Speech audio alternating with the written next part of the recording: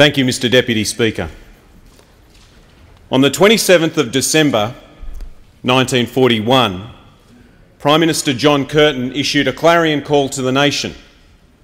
In our darkest hour, and with the looming threat of invasion, he called on a generation to steel its resolve and make ready the defence of Australia. Curtin's call reached a young man from Australia Street, Camperdown, Sydney. A young man who just turned 18. Eight days later, he joined the Australian Army. Not old enough to vote in 1941, but old enough to know his country needed him. Old enough to be part of the First Army to defeat the Japanese at Milne Bay. Old enough to be torn apart by mortar fire. His name was Jack Clare, and he was my grandfather. On the other side of the world, my other grandfather was a prisoner of war. Athol Neate was captured in the doomed defence of Crete and spent the next two and a half years in Stalag 18A in Wolfsberg, Austria.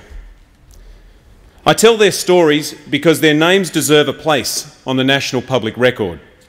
They were men of courage and fortitude, like their generation, like their Prime Minister. And because while the challenges that face us today are very different, Meeting them will require the same determination and national resolve. They require us to harness the skills of the Australian people and their readiness to serve. The noblest thing that we can do is serve our country.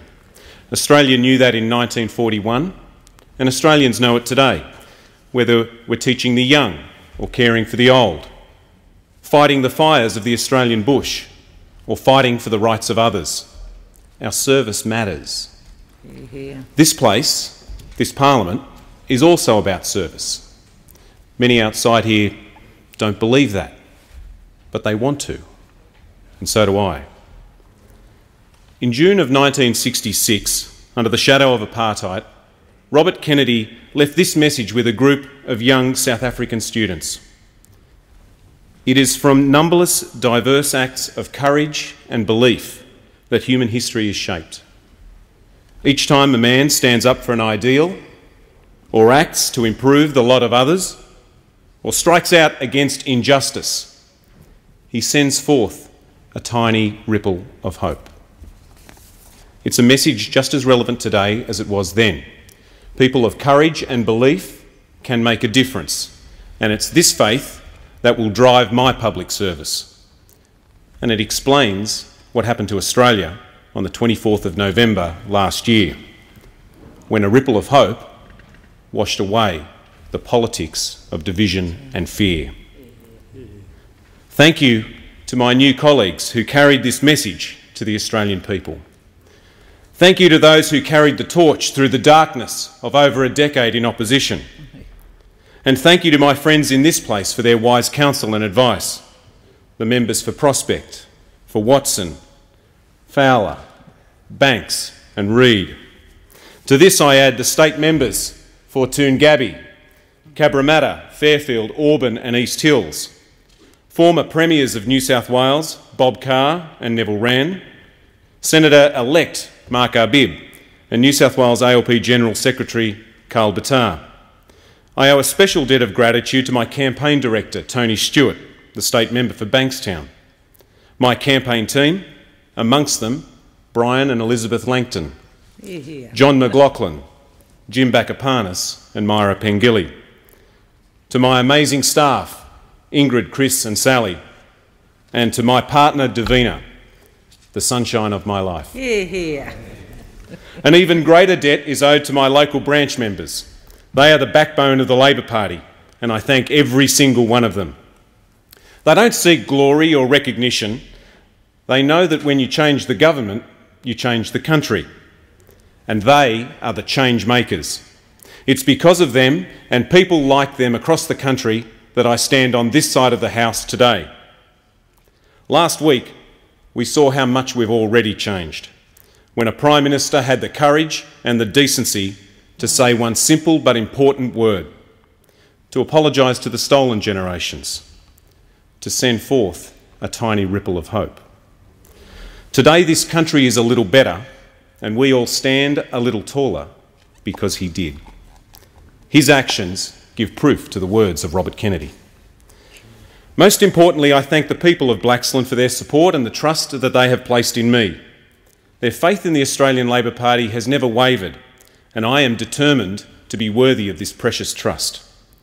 It's a great responsibility to be elected to the Australian Parliament, and an even greater privilege to serve the people I grew up with, my friends and neighbours, my schoolmates and teammates. It's where mum and dad built a home and raised a family. They still live in the same house today. It's where mum works at my old high school, helping generations of Blaxland kids grow up. And it's where dad works with many others in the manufacturing industry. Sitting in the gallery, they are the proudest parents in Australia. And I am a most grateful son. To mum and dad, I bring to this place the values you taught me the importance of doing what's right, of helping others, and getting involved in the local community.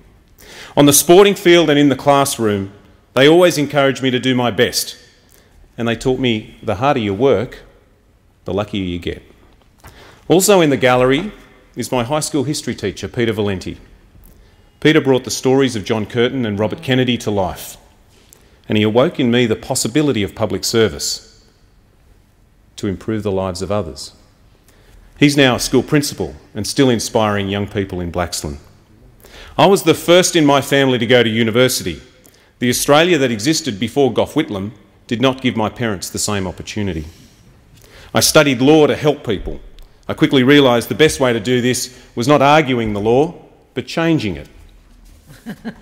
Bob Carr gave me that opportunity. And that's what we did, changing the criminal law, working with police and victims of crime. It was an honour to work for a man with a passion for public service. Each morning he'd say to us, What can we do to help someone today? He was a leader in the Labor tradition, a tradition and a party that believes in reward for effort, help for the needy, and opportunity for all. A party whose commitment to a strong economy is matched by its commitment to a fair society. Australians care about fairness.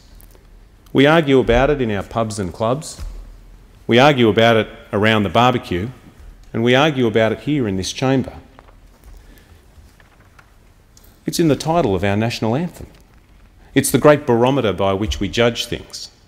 It's part of our history. In November of 1907, Justice Henry Bourne Higgins handed down the Harvester decision which infused the concept of fairness into our industrial relations system. That was November 1907. In November 2007, 100 years later, almost to the day, the Australian people reaffirmed their commitment to fairness and threw out a government that had whittled it away. I'm fortunate for many reasons, but above all, I'm fortunate to be part of a Labor government, a government that will put fairness back into the lexicon of this parliament a government that will put fairness back into the workplaces of this nation, and a government that will put fairness back into the pay packets of working people. People like those who live in Blaxland. Blaxland was created in 1949, in the early years of the post-war boom when men like my grandfathers staked their claim in the new housing estates of Western Sydney. Since that time, there have only been three members for Blaxland, Eli Harrison, Paul Keating, and Michael Hatton. I pay tribute to their contributions and place on record my sincere appreciation to Michael for his support and advice. All served the people of Blaxland with distinction. Paul Keating's service went well beyond the boundaries of any one seat. He rendered the Australian economy competitive and prepared it for the 21st century. It took courage to float the dollar and vision to introduce reforms like compulsory superannuation. He also had a bold vision for Australia and our place in the world. Strong, independent, engaged with Asia and reconciled with Indigenous Australia. Mr Speaker, it is a vision whose time has come. Blaxland is an important part of the great Australian story. The traditional custodians of the land are the Darug, Darawal and Eora people. Rock paintings dating back 3,000 years can still be found along the Georges River. Matthew Flinders was the first European to explore and chart its waterways.